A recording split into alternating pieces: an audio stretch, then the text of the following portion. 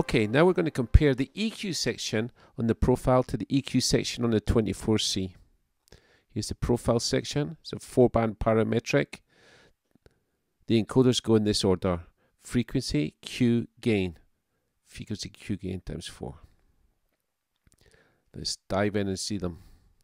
T turn up the gain, change the frequency, then we're going to play with the EQ a little bit. Q will take us between parametric and shelf as well. At the top end, the gain up there, frequency, again the Q, and that will take us between parametric and shelf. Because it's a full four band parametric, we have the two mid bands as well. Each of the four bands is 20k to 20 hertz. High pass filter we have on the desk, but we have on a per channel basis. We have to select the high pass filter on the left hand side and change the value of each individual high pass filter on a per channel basis. Let's compare that to the EQ section on the S6L. It's a four band parametric going from left to right with low, low mid, high mid, and high. The encoders go in this order gain, frequency Q, gain frequency Q times 4. Let's turn the gain, then the frequency, and now the Q. As on the profile, the Q will take us between parametric and shelf. You can clearly see the value change in the OLED above each of the encoders in the EQ section. And on the top end, gain, frequency, Q, and again, the Q will take us between parametric and shelf, and you can see that changing in the OLED. Of course, as in the profiles, there's a full four band parametric. And in between the top and the bottom, we have two mid range bands. I'll just pop the top and the bottom back to parametric so it's easier to see the next bit. Let's look at how we've improved the filters on the S6L. On this desk, we have two filters. We have a high pass filter and a low pass filter.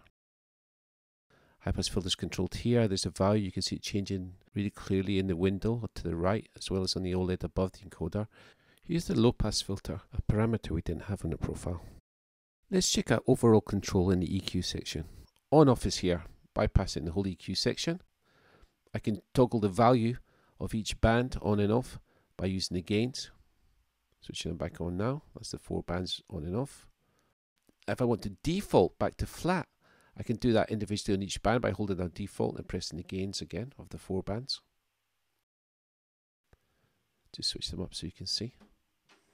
If I want to default the whole section, I hold down default and press the EQ switch. That takes the whole section to flat. Let's compare that to the S6L. On off is here for the EQ section. Each gain will bypass the individual bands. My low pass filter here, my high pass filter. If I want to default the EQ back to flat, I hold default and I can do each individual band of the four. Turn them back up so you can see hold down default again, and I can default the whole section by pressing the EQ in switch.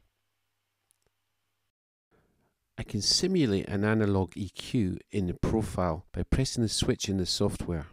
Now I have shelves top and bottom and two fixed frequency range parametrics in the mids, low and high.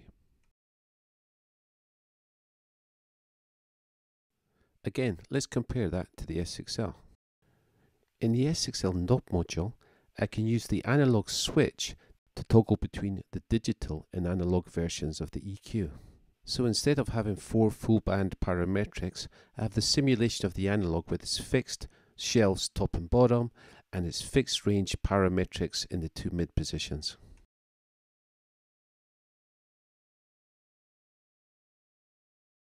This is the EQ section of the S6L.